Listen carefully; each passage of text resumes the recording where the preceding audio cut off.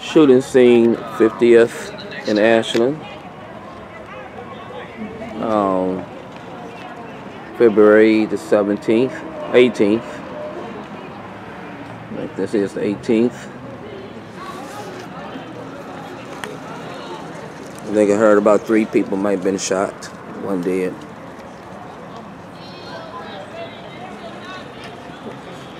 Called the police several times about this place. To no avail. They ain't gonna learn to listen to me.